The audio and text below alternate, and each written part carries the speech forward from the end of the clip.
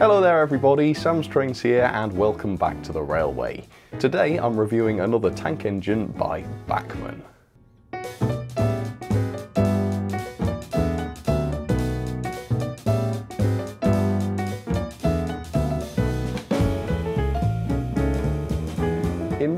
Life, the class of locomotives that I'm talking about today were very interesting and unusual.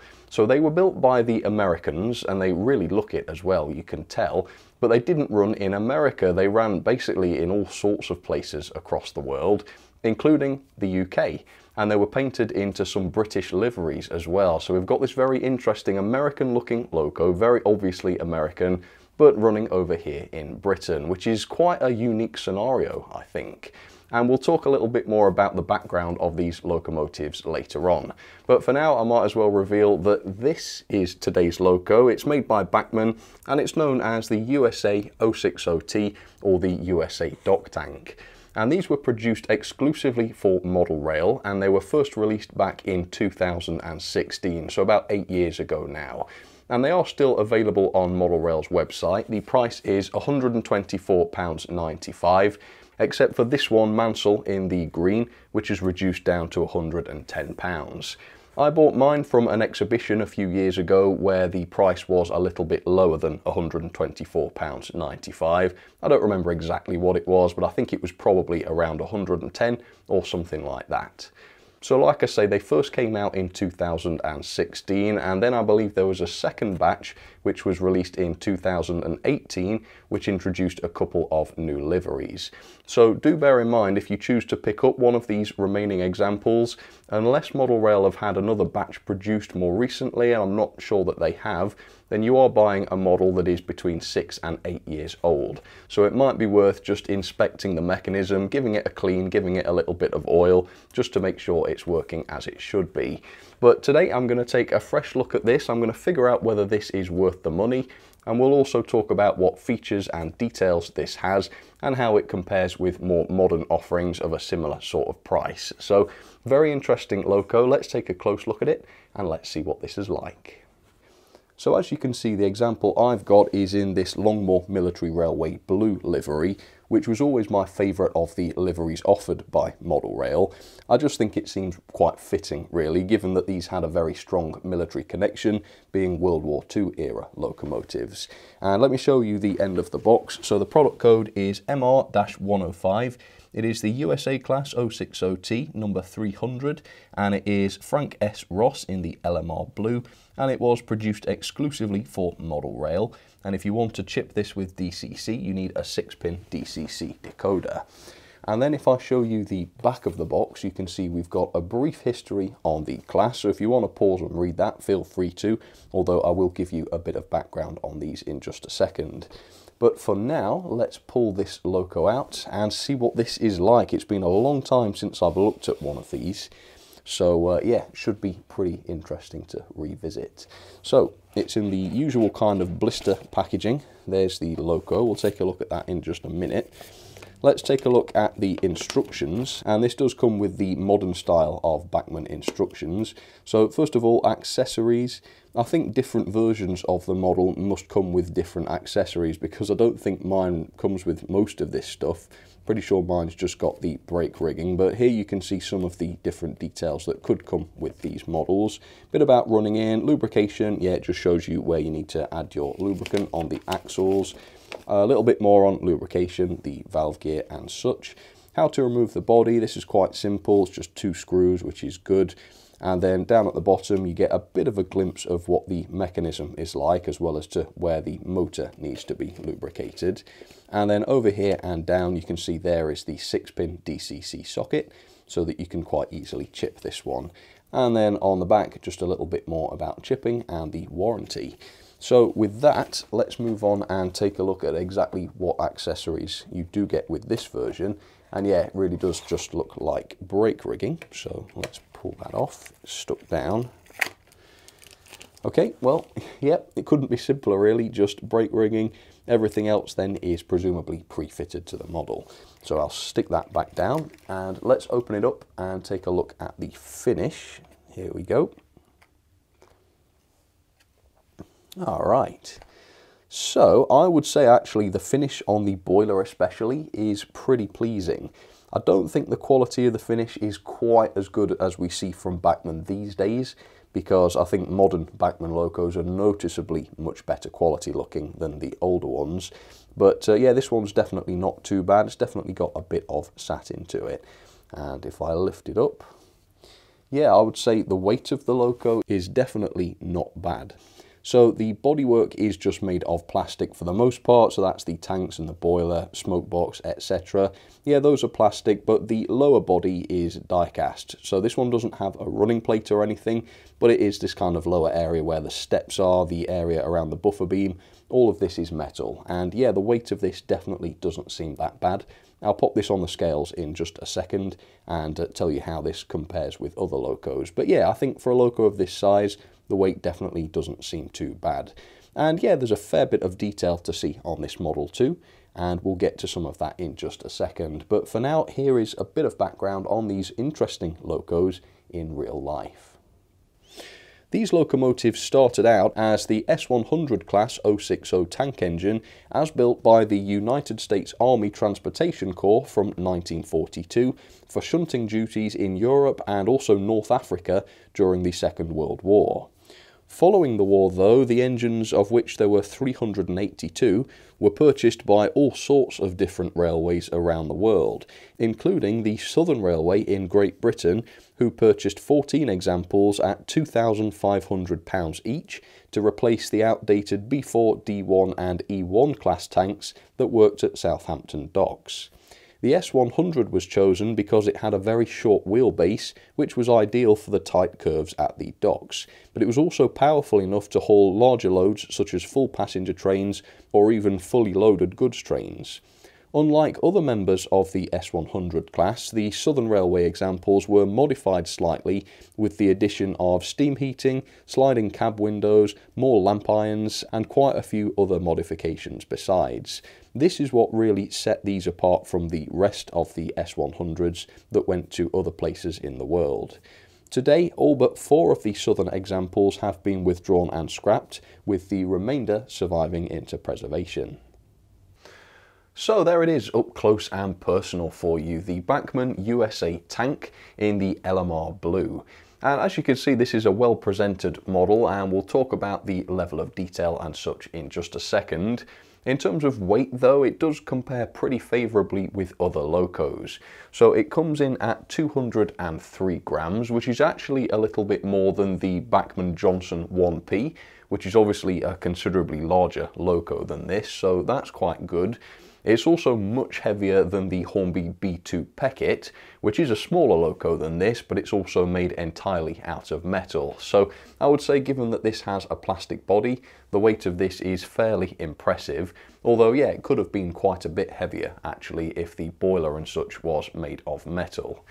So like I say, this is a well presented model, but it does seem to be missing quite a few key details. For example, the buffer beams are quite bare, which is unusual because the instructions showed that Bachmann's tooling does allow for different vacuum pipes and such to be fitted, and I thought to start with maybe this version of the model just isn't supposed to have the vacuum pipes, maybe the LMR version of the Loco in real life wasn't vacuum fitted. But looking at photos, it obviously was. So that's a little bit of a strange one. Perhaps though this was a feature added later in real life and this model depicts the Loco before that happened. Although why no screw-link couplings were provided, I'm not too sure. And the buffers sadly are not sprung. This is quite an expensive model, so a bit of a surprise not to see sprung buffers on here. Same sort of thing with the cylinder drain cocks. The real things don't just look like two stubs like that and things like the pipework beneath the cab on the model are just black, whereas on real life these would be sort of copper coloured as they are copper pipes. The only other real disappointment is the nameplate. In real life this is quite a beautiful separate piece and here on the model it is just a print on the side of the tank. I think for a model that is a number of years old now and costs £125 or so, a few etched nameplates would really not have gone amiss, and I think to fit an etched nameplate to this would really elevate the model. Otherwise though, there are some good features here which we'll talk about. So here's a better look at the finish. You can see certainly around the boiler, the finish is fairly satin, which looks good. And although the lining on this model isn't dreadfully complex, what is here has been done quite nicely. So you've got the red lining around the tanks here and also around the cab and coal bunker area, all done very nice and precisely. And even the wheels have the white lining around them, which is a very American look. You don't tend to see British locos with this feature, but you do see a lot of American locos with it.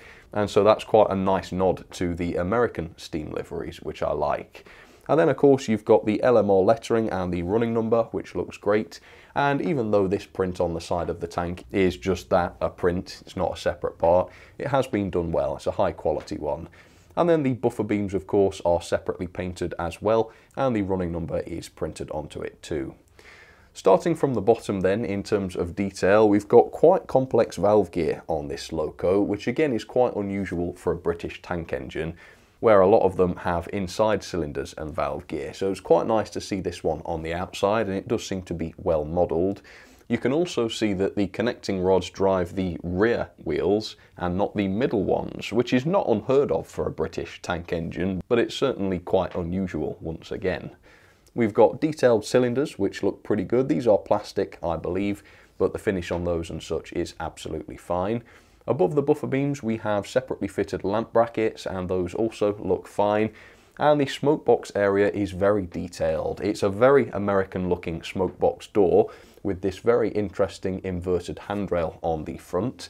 And it's also got these separately fitted steps on the side, and these stand out excellently as a result of being separately fitted. There's more handrails on the side of the smoke box and on the other side we do have a bit of pipe work going across the boiler as well. Up on top of the boiler the metal fittings are just painted plastic and as a result they don't look particularly good and the dome really doesn't look that great. There's a very noticeable line around the circumference of it where the top section is separately fitted and that line is prototypical but the quality of this part isn't the best. You can see where it's been cut from the sprue. And again, the separate parts here are quite clearly just plastic, which contrasts a little bit with Bachmann's newer models, where these parts would look a lot more metallic and in some cases would actually be made of metal. In terms of the cab area, we've got these separately glazed windows, which look pretty good from the outside. And around the side of the cab, we have these separately fitted and metal handrails, which look pretty good. Beneath the cab there's a fair bit of detail too, including the pipework that I've already mentioned, and a fair amount of chassis detail. Inside the cab there is a fair amount of detail, although not as much as I've seen on other models. I do like the way the cab interior has been painted into an off-white, I think that looks fairly convincing, and there are some detailed controls including the painted pipework, separately fitted regulator and such, and reasonably realistic looking gauges, although none of the gauges seem to have the actual gauges represented on them. And then around the back we've got this very pleasing grille effect on the windows which looks good, more separately fitted lamp brackets on the back of the cab and also on the back of the coal bunker. The coal bunker itself is beautifully moulded. This kind of coal guard looks great and we do have a pre-fitted coal load in there as well. And then finally, NEM tension lock couplings have been pre-fitted to both the front and the back of the loco, so it is truly ready to run. So like I say, it's a well presented loco that has been beautifully painted and it does have some good details on it. It does seem to be lacking a little bit though. The lack of sprung buffers is quite surprising as that's a ubiquitous feature these days. And it also seems to be particularly lacking in the accessories department. It's quite a surprise to see this come without screw-link couplings or etched nameplates, as I think if this model was to be re-released today, it would almost certainly have those features, particularly for the price. But otherwise, no major complaints. It's a good looking model of a very unusual and interesting prototype. So with that, let's get this down onto the track, let's see how it runs, and let's also talk about the mechanism. So there she is down onto the track, looking great in the LMR blue. I do like this livery quite a bit. I've got a couple of locos in this. I've got a War Department 280 in the same livery, and it looks just as good on that loco as well. But anyway, before I show you the performance, let's talk a little bit about the mechanism, which generally speaking I would say is really good, although there is some room for improvement. First of all though, it has all-wheel pickup and as you can see the pickups are wiper pickups and they actually follow the curved profile of the wheels, which means that you can't see them from the outside of the model, which is great. The base keeper plate is held on with screws and pulling these screws out allows you to completely remove the base keeper plate so that you can clean the pickups and such. Now in real life this loco was driven by the rear wheels but here in model form it's driven by the centre axle which just works a little bit better in model form because the models are less likely to jam up this way. But as you can also see we've got proper separate bearings on the driving axles which is really good to see, that's a quality feature. So to remove the body, I left the front screw out from when I took the base keeper plate off, and then I popped the back coupling off in order to reveal the rear screw, and taking that screw out allows you to remove the body. And inside there's a pretty well designed, if fairly bare bones chassis, the motor here is unfortunately just a three-pole motor without a flywheel. Now, five-pole motors were perfectly common back in 2016 when this was released, so I'm not too sure why this one only has a three-pole motor, and quite who decides a three-pole motor in a shunting locomotive is a good idea, I'm not sure, but that does have a knock-on effect on the performance. There's also this 6-pin DCC socket where there is ample room for a decoder, so chipping this should be no problem at all. But like I say, it's a bare bones chassis, it doesn't have any lights or pre-fitted speakers on board. I suppose those are more modern features, but this loco is still available today, so I think it's worth noting. And then in terms of the back-to-back -back gauge, this is nice and consistent. It comes in at 14.3 millimeters quite reliably, which is pretty close to the standard. So there you go, a pretty decent mechanism. I think the only thing I would really criticise would be the three-pole motor and lack of flywheel. Plenty of space inside here really for a better motor and a flywheel, and I think that would have improved the performance. Speaking of performance then, let me show you how this runs. So yes, it does indeed work, and as you can see we've got some lovely motion on the rods and valve gear there. Yeah, it all looks absolutely great as this thing runs along. Let's take a look at the gearing then. I'll run past you at 50% speed with this. So here we go, take a look at that. So it's reasonably speedy, I would say, but not criminally, so it's not flying along.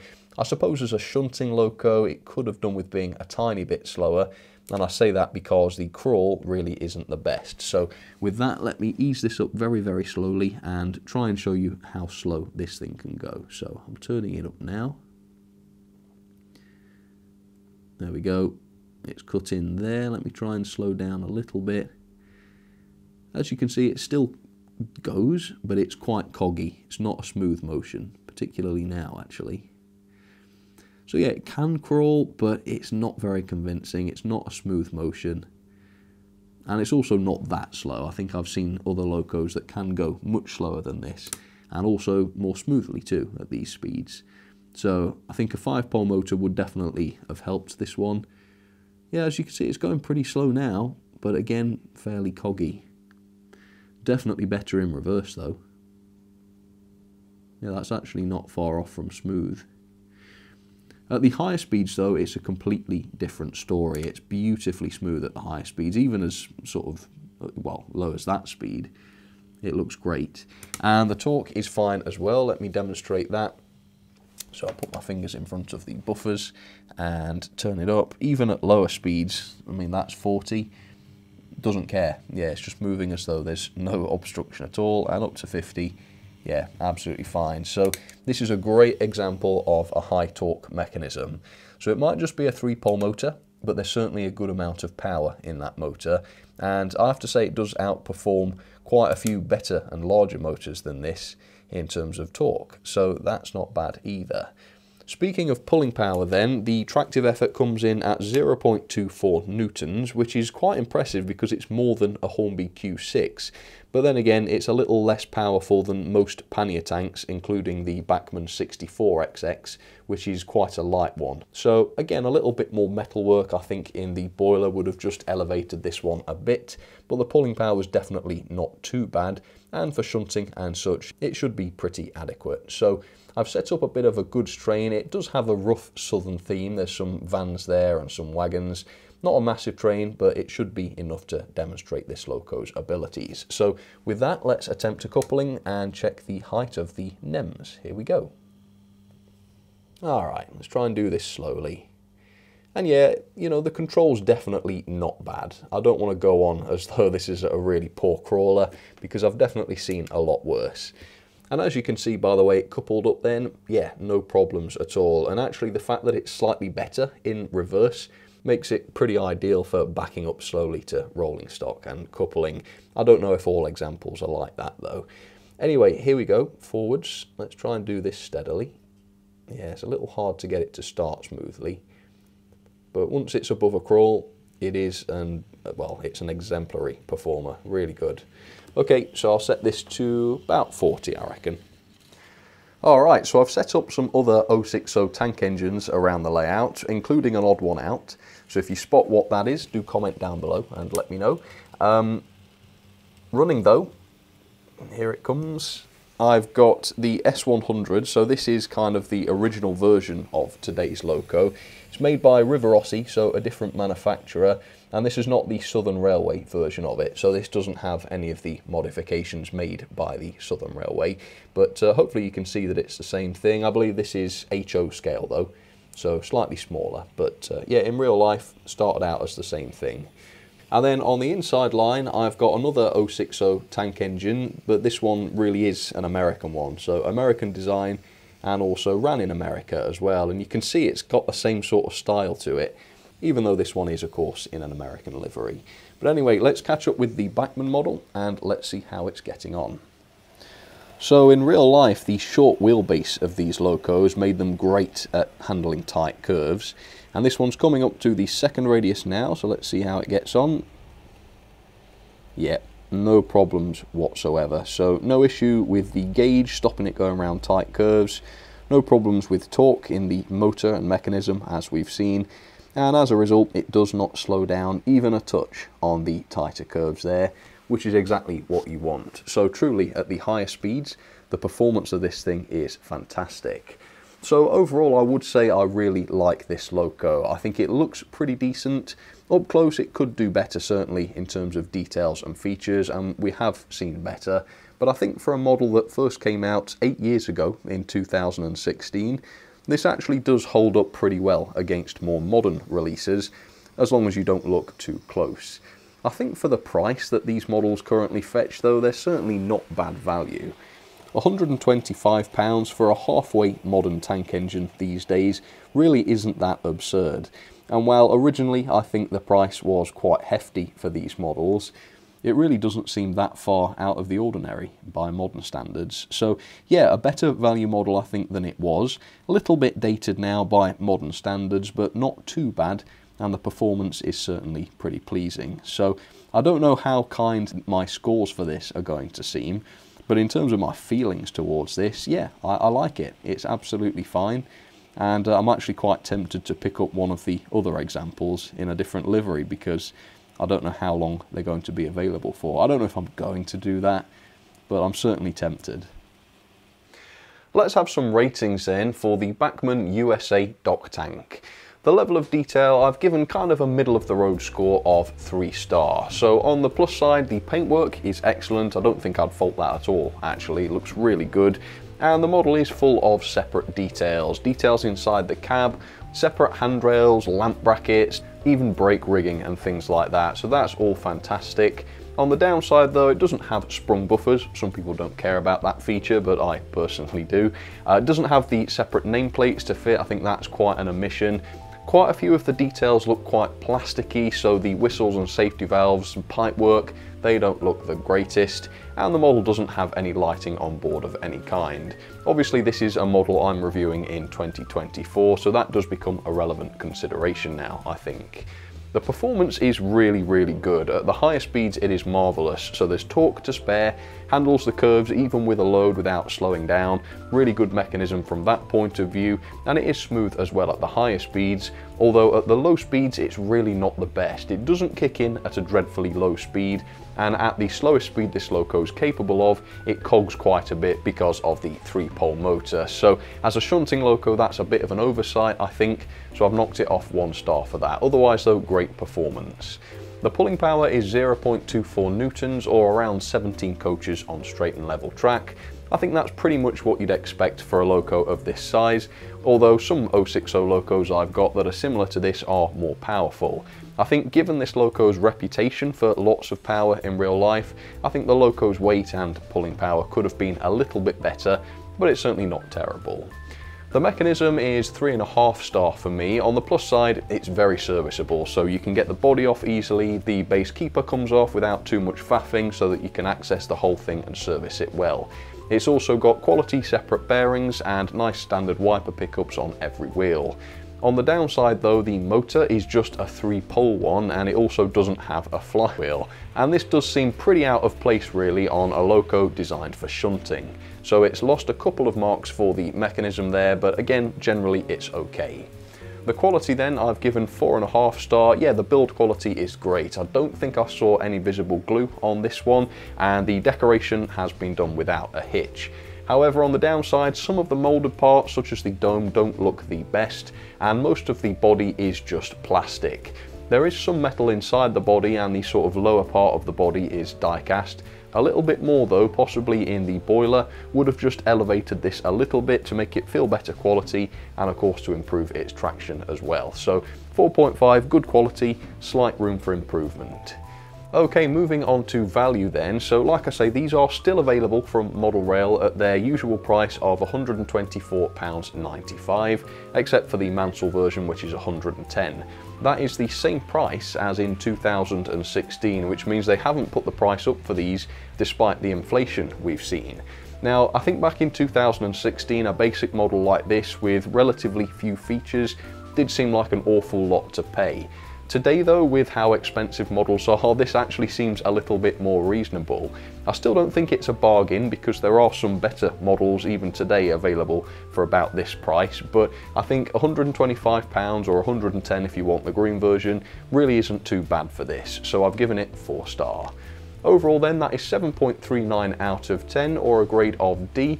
Slightly more details, features, and this would have gotten a higher grade, I think. So into the logbook it goes, and it is in the top 10 actually, which is fairly impressive. Seventh place above the Hornby Lord Nelson and below the Hornby Standard Class 2MT. Yeah, if you want one of these, they are still in stock. They might not be forever, so if you're interested in getting one, now's probably a pretty good time. Alright then folks, well thank you so much for joining me for yet another review. Please do comment down below and let me know what you think about this Loco. Is this something that would interest you these days? Or is it a little bit too dated for you to justify that kind of price tag these days? I'd be interested to know. Also, if you've got one of these and you got a different example, what were the accessories like? Because like I say, this one only came with brake rigging and that was it and the instructions showed quite a bit more than just brake rigging. Pretty sure that's correct for this example because I've checked the original footage from my old review of this and sure enough that is all that was in the box from new so it's not as though I've just lost it over the years but I would be interested to know what sort of accessory parts other versions of this model came with. So if you know the answer to that please do comment down below. For now though, thank you again for watching and I'll see you again very, very soon for another review. So you take care of yourselves and I'll catch you on the next one. Alright, cheers folks, you take care.